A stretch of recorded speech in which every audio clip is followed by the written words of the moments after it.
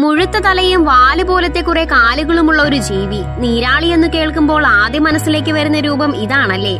എന്നാൽ ഒന്നും രണ്ടുമല്ല ഏകദേശം മുന്നൂറോളം നീരാളി ഇനങ്ങളാണുള്ളത്. സാധാരണയായി ഉഷ്ണമേഖല മിതശീതോഷ്ണ മേഖല സമുദ്രജലത്തിലാണ് ഇവ സ്ഥിതി ചെയ്യുന്നത്. ഏകദേശം ഗോളാകൃതിയിലുള്ള തലയാണ് ഇവയുടേത്. ഇവയ്ക്ക് രണ്ടു കണ്ണുകളും എട്ട് നീളമുള്ള കൈകാലുകളുമുണ്ട്.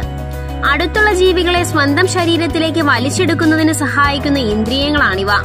നീരാളികൾ അസ്ഥികൂടമില്ലാത്തവായതിനാൽ ഇവയ്ക്ക് ഇടുങ്ങിയിടങ്ങളിൽ ഞെരുങ്ങിയമർന്നിരിക്കുവാൻ പറ്റും. കിളികളുടെ കൊക്ക് പോലെ നീരാളിക്ക് കട്ടിയുള്ള ഒരു കൊക്കുണ്ട്. അത് ഞണ്ടുകൾ കക്ക എന്നിവ പോലുള്ള അവരുടെ ഇരയെ കട്ടിയുള്ള തോട് പൊട്ടിക്കാൻ ഉപയോഗിക്കുന്നു. നീരാളിക്ക് മൂന്ന് ഹൃദയങ്ങളുണ്ട്. രണ്ട് ഹൃദയങ്ങൾ അവ ശ്വസന ഇന്ദ്രിയങ്ങൾക്കപ്പുറത്തേക്ക് രക്തം പ്രവഹിപ്പിക്കാൻ മാത്രമായി പ്രവർത്തിക്കുന്നു. മൂന്നാമത്തേത് അവയവങ്ങൾക്കായി രക്തസംക്രമണം നടത്തുന്നു. നീരാളി നീന്തുമ്പോൾ ഹൃദയമിടിപ്പ് നിലനിർത്തുന്നു. ശത്രുക്കളിൽ നിന്ന് രക്ഷ നേടാനായി ഇവ മഷി പോലുള്ള ഒരു ദ്രാവകം ശത്രുക്കളുടെ നേർക്ക് ചീറ്റുകയാണ് പതിവ്. ഇതിൽ ടൈറോസിനേസ് എന്ന സംയുക്തം അടങ്ങിയിരിക്കുന്നു. ശത്രുക്കളുടെ കണ്ണിൽ വീഴുമ്പോൾ ടൈറോസിനേസിന്റെ പ്രവർത്തനം മൂലം അവ താൽക്കാലികമായി അന്ധരാകുന്നു. കഷ്ടകാലത്തിന് ചിലപ്പോൾ നീരാളികൾ സ്വന്തം മഷിമേഘ പടലത്തിൽ പെട്ടുപോകാറുണ്ട്. ഇതിൽപ്പെട്ട് രക്ഷപ്പെടാൻ പറ്റാത്ത നീരാളികൾ മരിച്ചു പോവുകയും ചെയ്യുമത്രേ.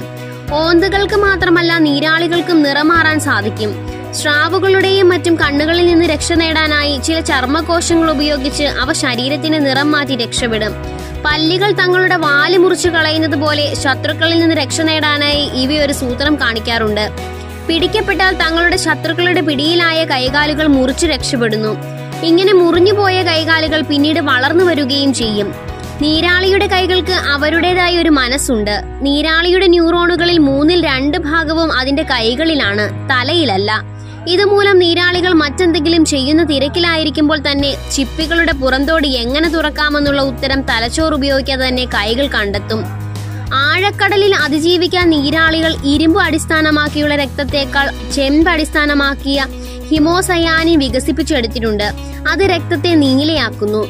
ജലത്തിന്റെ താപനില വളരെ കുറവായിരിക്കുകയും കൂടുതൽ ഓക്സിജൻ ഇല്ലാതിരിക്കുകയും ചെയ്യുമ്പോൾ ഹീമോഗ്ലോബിനേക്കാൾ ഓക്സിജൻ എത്തിക്കുന്നതിന് ഈ വ്യവസ്ഥ കൂടുതൽ കാര്യക്ഷമമാണ്.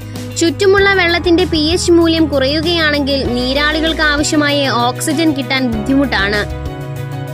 ഇണചേരലിനു ശേഷം ആൺ നീരാളികൾ താമസിയാതെ ചത്തുപോകും.